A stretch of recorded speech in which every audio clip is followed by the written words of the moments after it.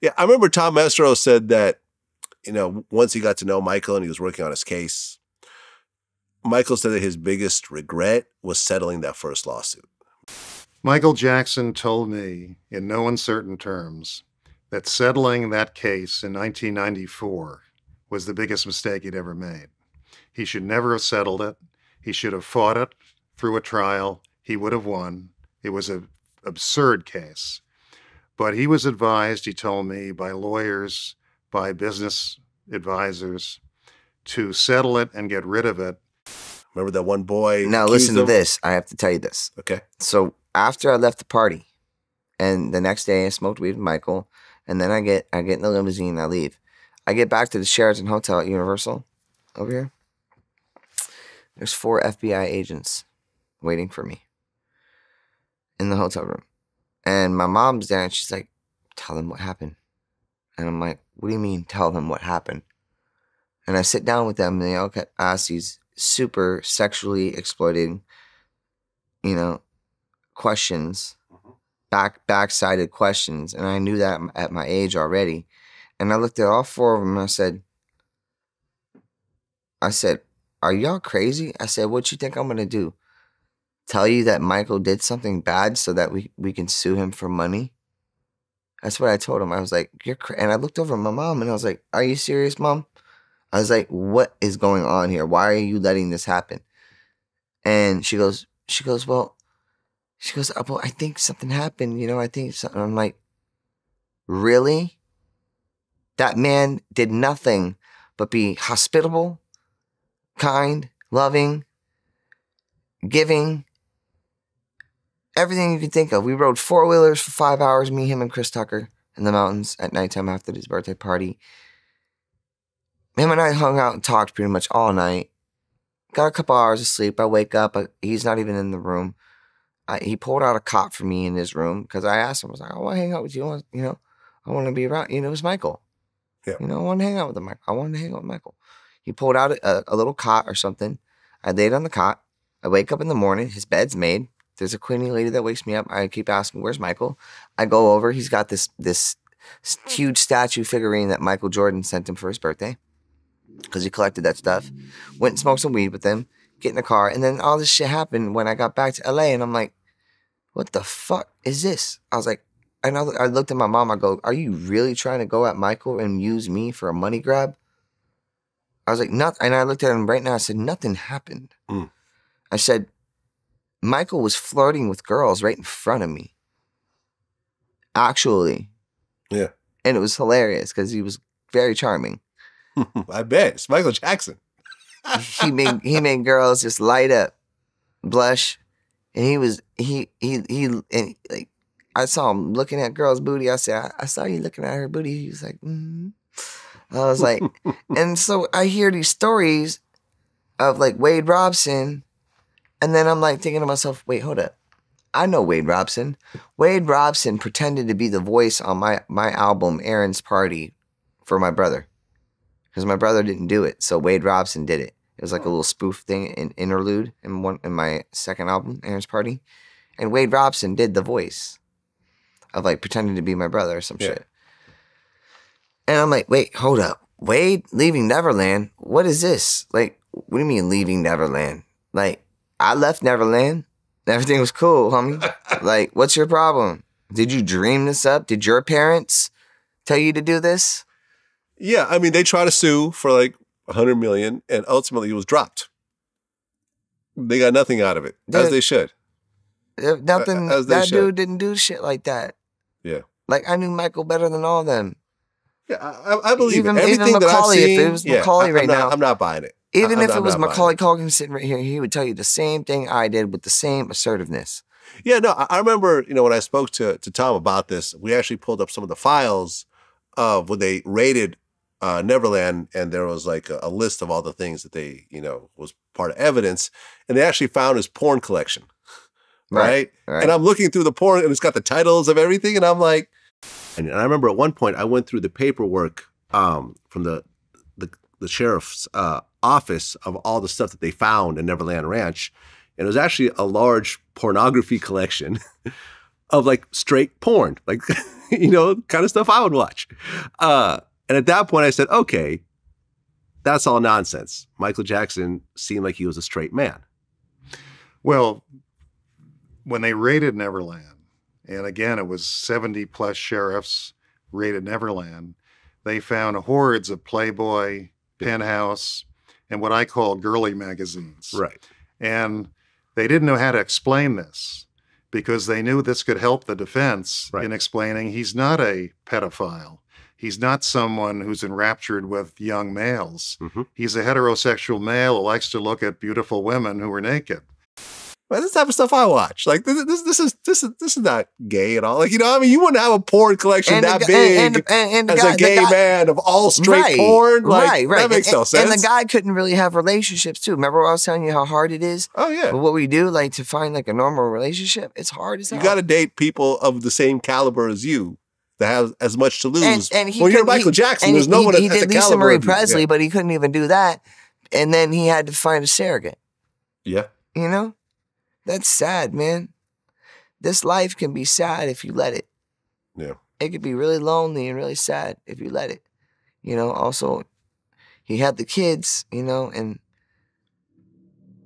yes, that changes you, but I don't think it fully changed him, you know? Hmm. I don't think it really, because it, it, it was hard for him to, I think, not to have had the actual emotional connection to make that child. You know what I mean? Yeah, No, nothing, and- nothing against people who get surrogates because that's such a blessing. Well, I mean, he got a That's a problem. surrogate, but I don't think those children are biologically his. I don't think that was his sperm that that was used in that surrogate. I, uh, those children I- do not I- look like him in, mean, in the least. No, no in the offense. least I know Paris and all that, but I, I actually, I kind of agree. You know, I mean, it just is what it is. my buddy B Howard looks more like his son than anyone else. Well, if you just look at all of his siblings, I mean, do you know all Howard the is? children. No, I don't.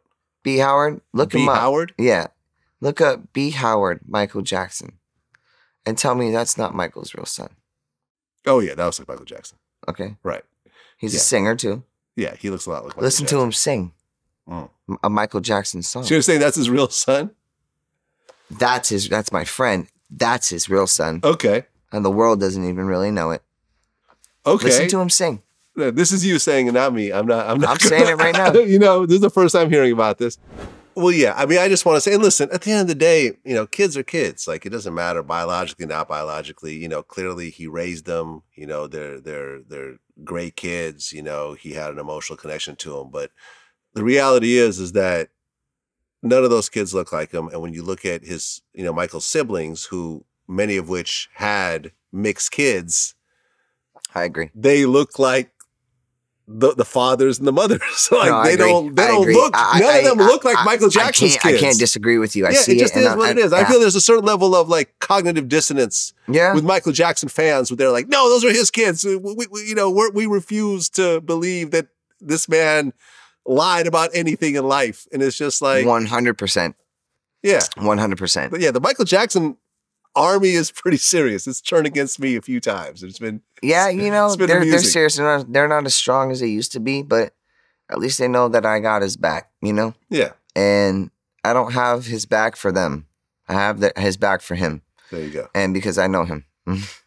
Well, you know, you look at boy bands now, and clearly the biggest boy band in the world is BTS. Is it Right now, yeah. Well, BTS. I know they won four awards at the AMAs, right? Yeah, I mean they have that big song with Coldplay. Well, that song sucked. Butter. Uh no, Smooth Like Butter? Universe. No, there's one called Smooth Like Butter too. That song I don't know about, but Universe is the song that I That song, sh- shit. Okay. I mean, number one, are you Well, am I gonna get surprised? the BTS trolls now? Maybe. Well, I mean, look. I got nothing against them. You know what I mean? I I, I hope they're really singing the records. Hmm, All right, one. First of think all, there's, no uh, you Milli think Vanilli here. uh, you don't think there's a Milli Vanilli? I, there there be better not be because? I'll, I'll I'll be pissed off, and I will because also I, I find it ironic that there's seven of them or ten or whatever. Mhm. Like good good luck with the splits, guys.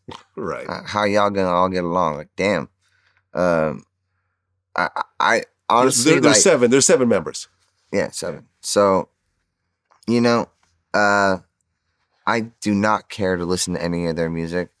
Um, it's not my style. It's not what I listen to. You know what I mean? It's nothing against Well, the right. I mean, we're fan too, base we're, or we're BTS. You know what I mean? Yeah, I mean, we're too old and we're also male. I mean, these these guys are geared towards a you know a pre a teen female audience. No, so but as you know, the Z generation is now like 25 when they're like 15. They they they they have no I they have no filters. I guess, but No, no, it's the truth. okay. These no, little fair enough. kids that are 13, 14, 15, 16, you don't see them rapping at this age now too? No, that's true. Fl- flossing guns and shit. Right. Like what the hell? I mean, being I mean, you weren't in a boy band, but you were part of the the overall genre in terms of like like the you know the audience and so forth. Mm, When when you look at someone like a BTS, Mhm.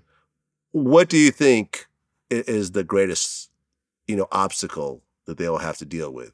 You know, longevity. Mm. Longevity. That's the problem. Yeah. With seven members, longevity. Uh also I mean there's a there's a fan choice type of thing, I get it.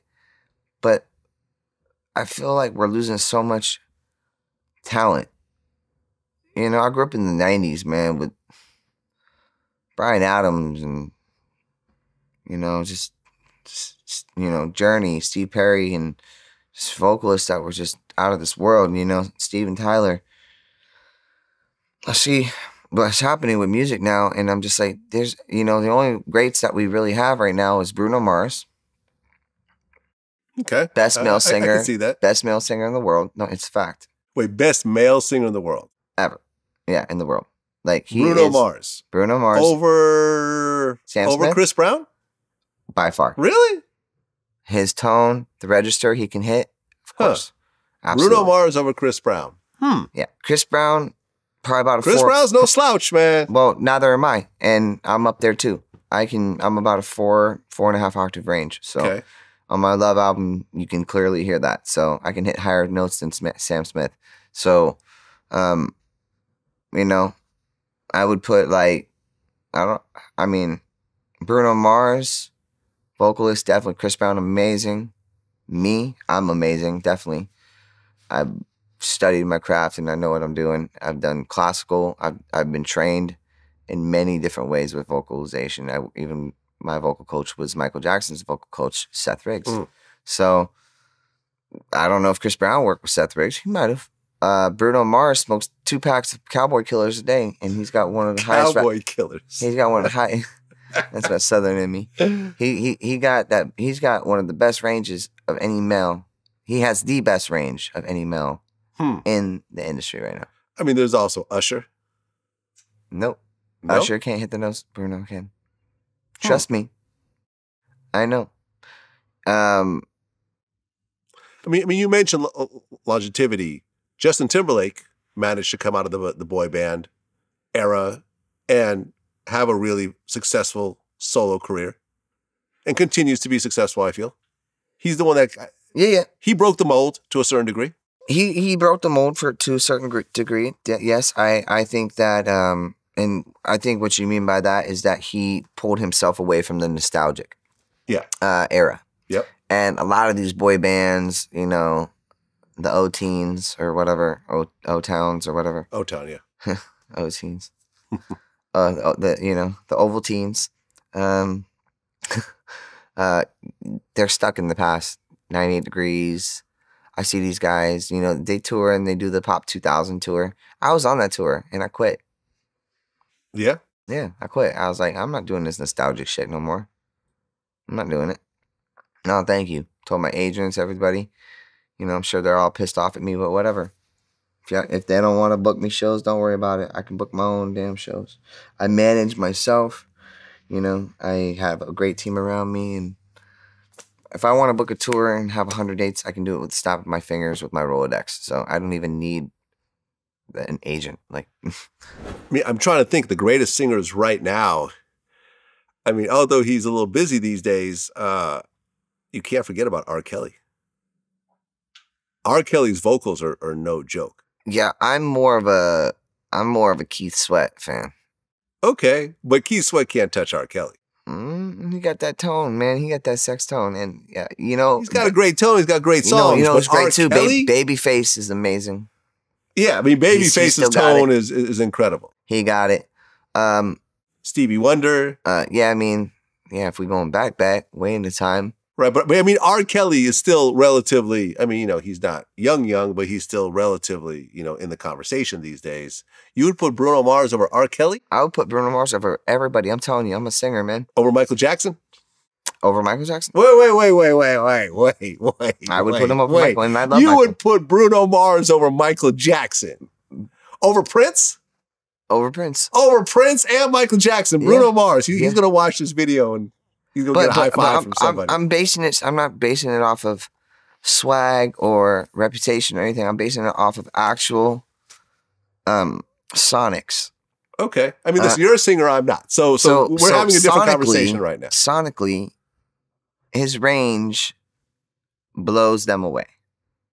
Okay, let me ask you a question. How about if you're talking about range, Bruno Mars versus Mariah Carey?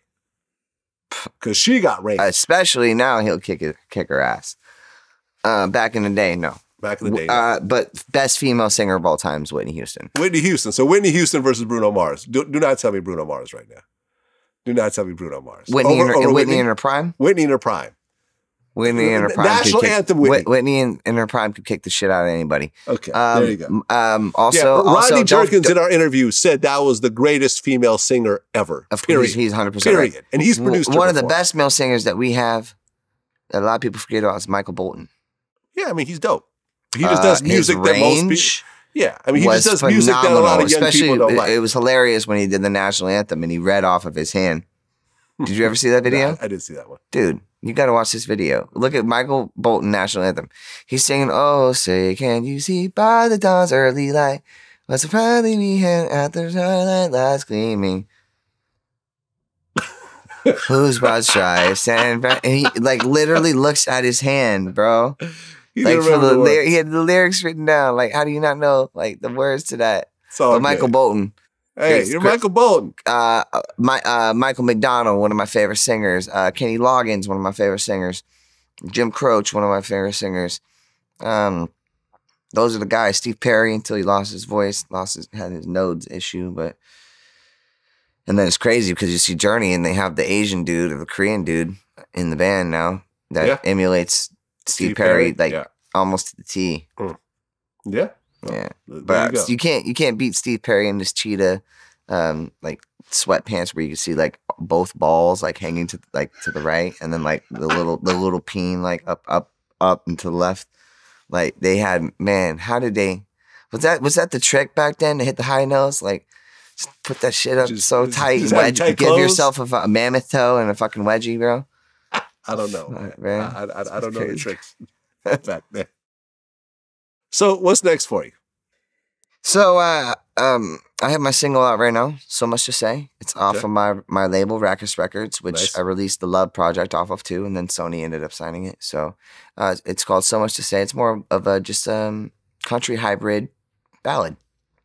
And um it was written about, you know, my stories and my family and things that I've been through and uh the whole album is being produced by Morgan Matthews who is uh, he just got nominated for a Grammy for Alicia Keys song that he did, and um, so uh, he's producing the record. And then my buddy, he goes by the Winter Havens on Instagram. His name's Brian Cassidy. He's writing the lyrics, and then I'm helping write and do production. We're all it's a team. We're like three musketeers. So it's gonna be like three three different types of genre of musics in it.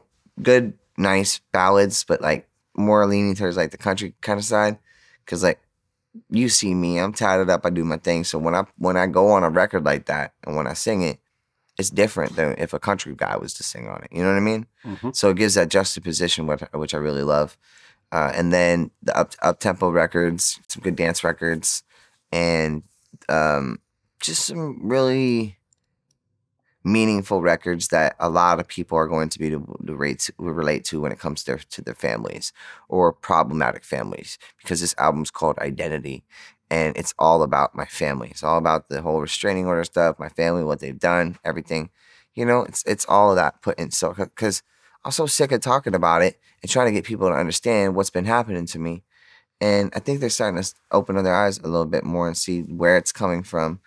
And um, I just think that the best way for me to respond to that is with music and put it in my music.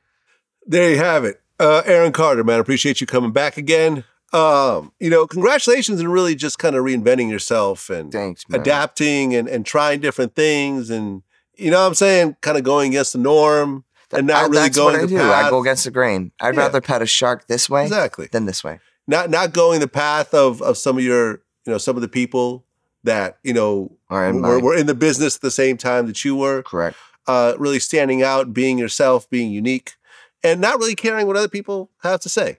You know what I'm saying? Like, You really know, got to. You really got to do it. I mean, because otherwise you're gonna be so lost. And you know, anybody else out there watching, you know that that does what I do. Do not become a prisoner to the perception of other people's opinion. Because if you do that, you will never figure out who you really are. You sometimes you got to go against the grain, and and if you're gonna release music, do it right, please. do it the right way. Don't release shit release good shit. You know what I mean? If it if it if there's any inclination that it's shit, don't throw it away. You know what I mean? Or reinvent it somehow. Just like you can reinvent your career. I'm reinventing myself in a lot of ways. When first and foremost, you know, when it comes to my my health. Second secondly, when it comes to my my music, you know, and my lifestyle. And I've been doing very well for the last four years.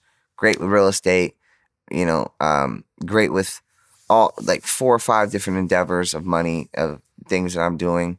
I haven't even touched the road in two years, and I've made more money without even touring in the last two years. nice. So I've been able I've been able to figure out how you know the world works, how finances work, and putting a good team around me, having better people around me, and really just um, understanding the you know also the disease of addiction and what the triggers are and how to avoid those. You know, I don't club, I don't drink, I don't do nothing like that. I dirt bike and stuff out in the desert. You know, so you're totally clean now. oh, I mean, I don't even I cut back on even smoking weed. Okay. Like, what- what- what was and, the- and I, I have a nicotine patch on now. Like, okay.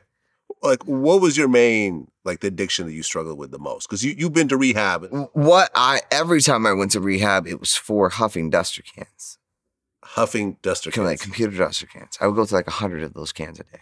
Is that like nitrous? It's Kinda? worse, way worse, way Worse worse. than nitrous. And it destroyed my body. It destroyed certain chemicals in my brain. You know, um, endorphins and Why- serotonins. And Why that as opposed to I have no idea. I, pills or cocaine I, or I have no idea. heroin or Yeah, ecstasy I know. I know. I, I just the, the because usual, you know, oxy. maybe maybe I guess it was like it felt kind of childish to me because I was introduced to it by my sister when I was 17, 16. okay. And it was kind of like a whip it, I guess. Like, yeah, like a whip it. Yeah, I remember. you know, out of I've probably fir- done we- one or two fir- we in my day, First yeah. started out of our whipped cream Yeah. cans, then we get in trouble with our moms because they knew what we did. But and then Are you get uh, high from whipped cream cans? Yeah, you can do it off. Whipped. I just did it just for the whipped cream. But Yeah, no, you can do it off of whipped cream. It's it, you know, it's it's so terrible, and you know, I was. It took me four times over the course of eleven years to get it right.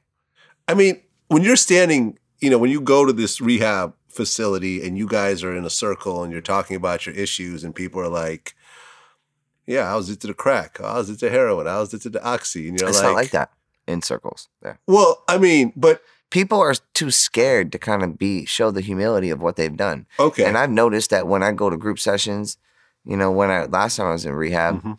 that people were just kind of downplaying their addiction, and then I could see through it because the fourth time after 90 days, I was really locked and loaded and ready to be like, you know, I'm done. And then I see through some of the people that are like trying to downplay their addiction. And then I'd literally get in fights with people and be like, excuse me, you know, like uh, you're downplaying, you're downplaying right now your addiction and trying to Mhm. trying to uh, put validity behind the disease that you're going through, Yeah. and you're not really telling the truth. And I said, can you just please tell me the truth? And then someone would be like, oh yeah, you know, all right, fine, like yeah, I, you know, I shot up heroin three grams a day or whatever it was, you know, and I'm just like, "O- okay, that's all you had to say because I'm sitting here telling y'all that I huff duster cans. I don't even know y'all from a can of paint. And I, when, every time I went to rehab, especially last time, there was five people kicked out because they were calling their friends, telling them what I was saying in my meetings. Mm. So then I couldn't even go to group sessions, and I only had to speak to my counselor, Chris. So I was there for 90 days, and this happened to me in like the first three weeks, and so I couldn't even have anonymity when in, in my sessions. So I had to have private sessions the whole time. So it was just like being a kid having a private tutor, you know. Well, yeah, I mean, I actually looked it up because I've never even really heard of this before. And they said canned air is essentially a toxic poison that is not meant to be inhaled, according to safety information for dust off. Dusting or huffing these products can have negative immediate and long term consequences. Inhaling abuse can cause permanent brain damage that can lead to irreversible neurological deficits. I take 900 milligrams of gabapentin a day for the, it's a neuron, it's a neurontin, technically, is what it's called. So it helps the neurons in my brain. I take hydroxyzine. I take trazodone for sleep because I can't sleep because of this shit. Um, you know, I take Xanax also. I have to take that because this makes me a high risk seizure. So I take like the most dosage that you can actually get for Xanax. Like I take two a bar in the morning and a bar at night. Two milligrams in the morning, two milligrams at night. And I ha- and and I also take propranolol, high blood pressure medication, and I, you know, and I also take 50 milligrams of Seroquel. And I have to take this regimen. This was regimented to me in rehab because I'll get twitches in my eyes and it can lead down to my face and I can get Bell's palsy. So Well, it because seems and like it's I- working. and I've destroyed my body four years. I'm still healing. Um, you know, I tend to get sick often from it. Um, there, it's it put metal metal particles in my body, all my organs, and inside my brain. Well, I mean, I can't you heard what it said: long term effects. yeah, exactly. I mean, I can say though, you do look healthy. Thank you. You know, I mean, since our last interview, you look healthier. You look a little, little heavier Oh. Thank you as well. Thank you. Thank you you. know, so whatever you're doing seems like it's working. Thanks, man. You know what I mean? Yeah, so, no, I and now that. you have more of a reason to live yeah, because now you have this little, this little baby yeah, that cannot course. survive without you. exactly. So, And- so and- there you go. That's an even bigger motivation it- to do the right thing. Yeah, and it's my job to you know be the provider, make sure I'm on Yeah. point, make sure that agents know what time it is. You know, booking agents, people, whatever, like that. Uh, who I am, like, yes, I'm a household name, but I'm also just a person, and I've been through a lot of struggles, and I just deserve a second chance. You know what Yeah, I mean? I I, just agree. everybody in this world deserves a second chance, really. Not unless you're like a mass murderer or something crazy, but like people deserve second chances, and I think that if if there was more of that in this world, that we would have a safer place. I agree. Aaron Carter, appreciate you coming back, man. Yo, All the best. Until course, next bro. time. All right. Peace.